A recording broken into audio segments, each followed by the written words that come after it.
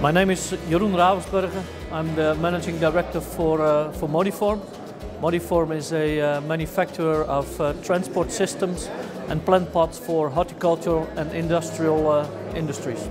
Uh, the horticulture will continue to develop itself uh, quite rapidly.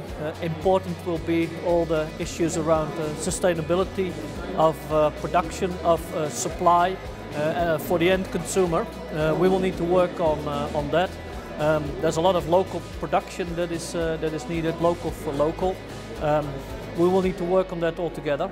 Certainly for uh, the short term, we will need to continue to inform the consumers about uh, what we do within horticulture, uh, a transparent production in all, all aspects. For the long term, we need to continue to develop ourselves and become more and more uh, sustainable in a circular uh, economy and circular society. Important developments for our industry, specifically uh, when it comes to, uh, to Modiform, that would change the world is the development of alternative materials for plastics with the same features. There's a lot of research going on by the large companies that produce these kind of things. So we're very excited to see those happening in the, the near future.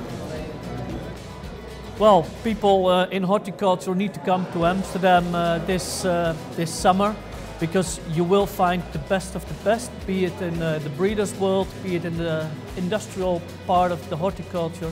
Um, all the knowledge uh, uh, centered in Amsterdam from the supplier side as well as from all the research.